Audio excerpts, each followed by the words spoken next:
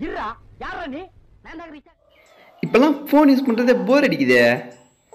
ஒருவேளை திருந்திட்டமோ? சிச்சி நம்மளாவது திருந்துறதாவது.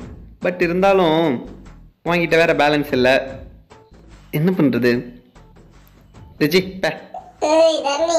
படைங்க வீட்டில் நம்ம மட்டும்தான் இருக்கோம். யாரு? நான் தான்டா கொஞ்ச நேரத்துக்கு முன்னாடி என்ன தூக்கி போட்டி அந்த ஃபோன் பேசுறேன். ஃபோனு பேசுதா? என்ன ஃபோனு புதுசாக பேசுகிற எங்கே இருக்க? உங்க பழனிக்கு பின்னாடி தான் இருக்க வா வா வா வா. என்ன ஃபோனு உனக்கு வாயெல்லாம் இருக்கா? பேசுகிற எதுக்காக உன்னை என்ன தூக்கி போட்டீங்க? ரீசார்ஜ் இல்லை உன்ட்ட அதான் உன்னை தூக்கி போட்டேன். என்னெல்லாம் பண்ண என்ன? என்ன பண்ண நான் உன்னை? ஆன்லைன் கிளாஸ் நீ என்ன மட்டும் ஆன் பண்ணி வச்சு நீ மட்டும் தூங்குன பாத்தியா? இல்ல உன்னை நாலு எக்ஸாம் அரியர் இல்லாம பாஸ் பண்ணி வச்சனே. அதையாச்சும் நினைச்சு பாத்தியா? எங்க மாமா டிவிக்கு கூட ரெஸ்ட் கிடைக்குது. ஆனா எனக்கு மட்டும் ரெஸ்டே கிடைக்க மாட்டேங்குது.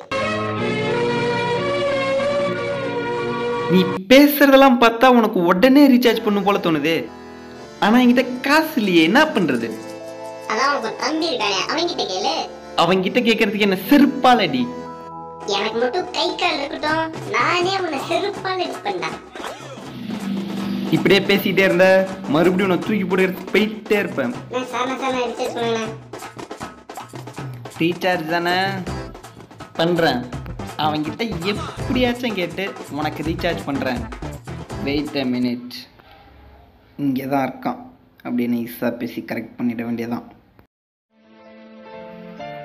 நம்மை போல நெஞ்சம் கொண்ட அண்ணன் தம்பி யாரும் இல்லை. தன்னை போல எண்ணம் எல்லும் நீயும் நானும் ஓர் தாய் பிள்ளை. தம்பி உந்தன் உள்ளம் தானே அண்ணன் என்றும் வாழும் எல்லை. இவர் பெரிய குரு சிஷ்ய ரஜினி பிரபு என்ன வேணும் சொல்லி தொலை? ஒன்றும் இல்லை தம்பி. ஃபோனில் நேற்றோட ரீசார்ஜ் முடிஞ்சிச்சு. ஒரு ஐநூறுரூவா இருந்தால் கூட ரீசார்ஜ் பண்ணிட்டு நாளைக்கு தரேன் காசு உனக்கு. அதான் நான் பார்த்தேன். பெரிய நல்ல மாரி பண்ணுறேன் நீ நான் வேற இல்லடா.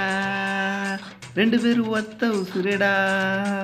போட்டேன்னா வச்சுக்கேன் இப்போ காசுலாம் தர முடியாது. பாட்டு செட் ஆகலைன்னா அப்போ டயலாக் தான். ஏய் கூட என்ன காசு வேணுமா என்ன? தம்பி இந்த அண்ணன் யாருன்னு உனக்கு நல்லாவே தெரியும்னு நினைக்கிறேன். காசு மட்டும் ரீசார்ஜ் பண்ண கொடுக்கலன்னு வையேன். நீ எதிர்த்த வீட்டு பொண்ணை லவ் பண்ணுறேன்னு எனக்கு நல்லாவே தெரியும். இதை மட்டும் நான் அம்மா அப்பாட்ட சொன்னேன்னு வையேன். உன்னை நாளைக்கே ஹாஸ்டலுக்கு அனுப்பிடுவாங்க அப்பையும் நீ காசு தரலன்னு வையேன். உன் ஃபோனோட விலை என்னன்னு உனக்கு நல்லாவே தெரியும்.